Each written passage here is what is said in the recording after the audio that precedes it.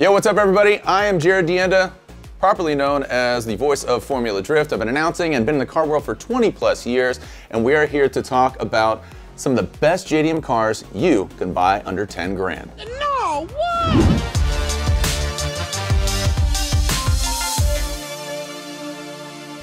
Before we jump into all these vehicles, make sure that you know that you can purchase all of your aftermarket parts at throtl.com. Shut up and take my money. It's not just a YouTube page, it's giving you the parts that you need to make sure your car looks and performs the way you want. This is a brand new show here on throtl, and I have some history with cars. I talk more about them than I actually wrench on them. Shamalama ding dong. Some of these are very soft, nice hands. Mickey and the boys get a little dirtier, but not as dirty because they got their Gorilla Gloves. But we're gonna talk about different topics in the automotive world. Specifically today, JDM vehicles under 10 grand. Also, you know what? I'm gonna throw it out there. What do you think this show should be called? Go and comment below and share with all your friends. So here we go. Top on the list for me, Nissan 350Z. It's a great car. You see them in the drift world, and it's just a dynamic car because every custom plate has to have the letter Z in it. So it doesn't matter. If you have a Z, it has to have the letter Z in the custom plate. Looking at the stats here, 287 horsepower, 274 foot-pounds of torque. That's the original, then you rev it up, 300 horsepower. It's a great car, it's an iconic car. DK from Fast and Furious Tokyo Drift drove one, why wouldn't you? So off the showroom floor, super expensive cars. I mean, what, 35,000, 40? I mean, if you option that thing out, that is almost $40,000 for this naturally aspirated VQ engine. But now, under 10 grand, you can find them. You want it under 90,000 miles to make sure it's reliable. And again, you gotta think, this is a drift vehicle, this is a road race vehicle. It's got that VQ engine. You can do so many things to it, aesthetically and performance-wise. Also, you gotta think about engine options, right? You can modify that thing. You can keep that VQ in there. You could go LS, because you could just buy a shell like TJ, and he's got 370 and a 350. I mean, there's so many different things. Even Chris Forsberg, three-time Formula Drift champion, put an SR in it. Talk about going backwards. But he did take it to the top of the podium. Also, known issues, making sure it runs up to snuff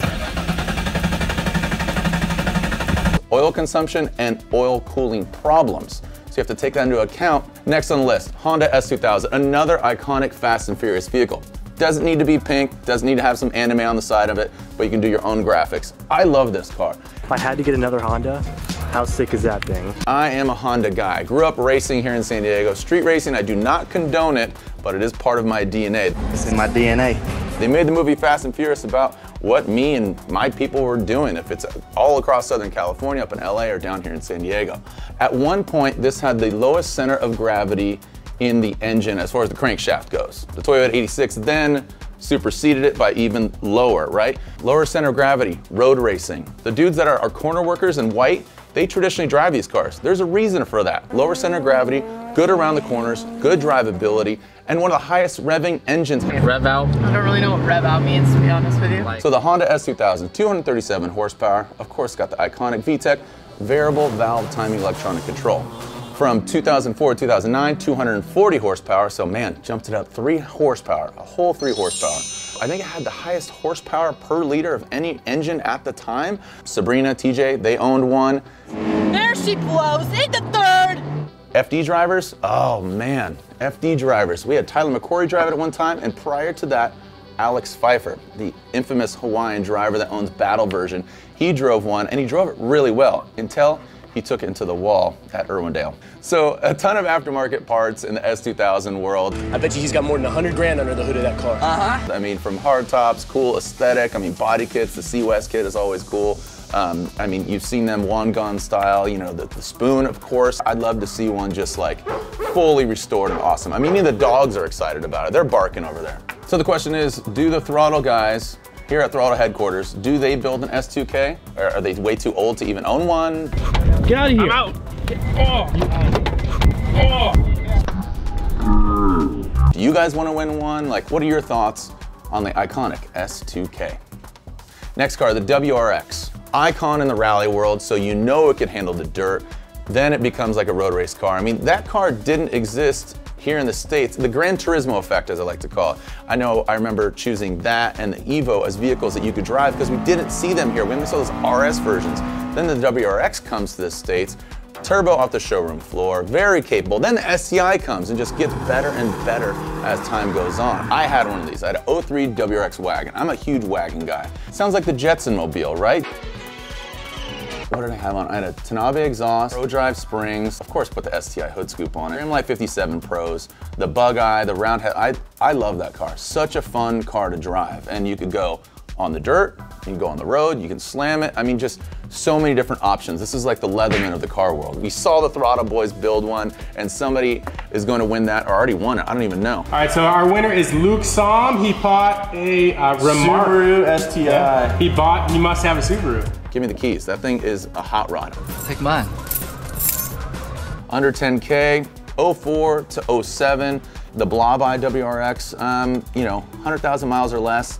When you start to get, you know, above 100,000 miles, you really got to know what you're doing, especially with the EJs. I absolutely love Subarus. I announced Rallycross, so I saw them in competition. With my boy Bucky Lasek behind the wheel, and many other drivers. But I have a special place in my heart for the Fuji Heavy Industry, aka the Subaru vehicle. Mitsubishi Eclipse GSX. The GSX, really great car. If they're not X, they're front wheel drive, and that's pretty much like a car.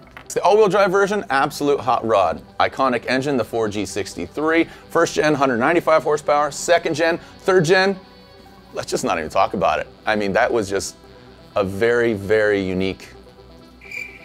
I'm being nice here. I'm a dad. I don't want to bash anybody. That was not, not a great car.